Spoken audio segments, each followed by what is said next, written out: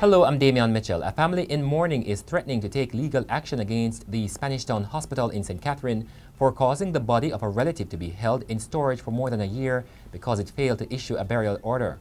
Damfell Daly Morris, a sister of the deceased 67-year-old Winston Daly, said the hospital has been giving the family the runaround since April 2018.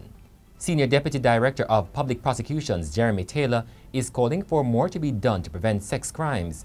In the recently concluded Hilary term of the Home Circuit Court, only 91 sex cases were disposed of, another 1,024 were carried over to the Easter term.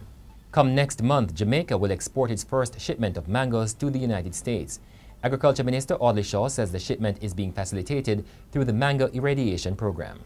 Overseas, U.S. measles cases have climbed to their highest level in 25 years, largely because misinformation is turning parents against vaccines.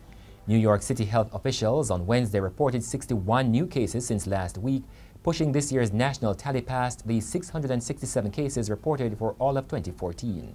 In sports, opener Chris Gayle heads a powerful batting lineup that sees the return of fellow left-hander Evin Lewis with Kemar Roach and Shannon Gabriel leading an exciting bowling attack in the preliminary West Indies squad for the ICC Cricket World Cup 2019, England and Wales.